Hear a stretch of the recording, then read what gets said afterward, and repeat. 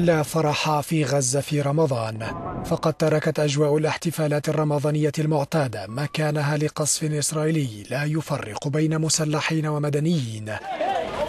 سبعة فلسطينيين على الأقل قتلوا ليلة البارحة في غارات جوية شنها الجيش الإسرائيلي على القطاع مع استمرار إطلاق القذائف من القطاع على جنوب إسرائيل.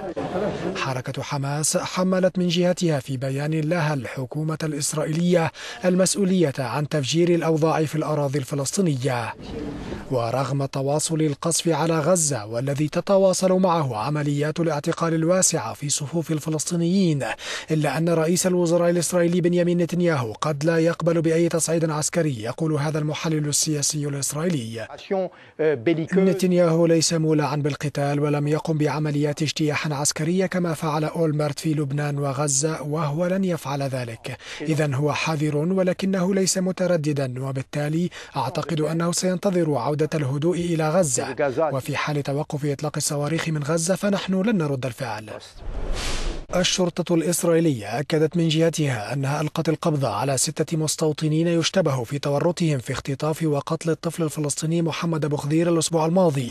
كما أفرجت عن أحد أقاربه الذي تعرض بدوره إلى التعذيب لدى اعتقاله قبل بضعة أيام.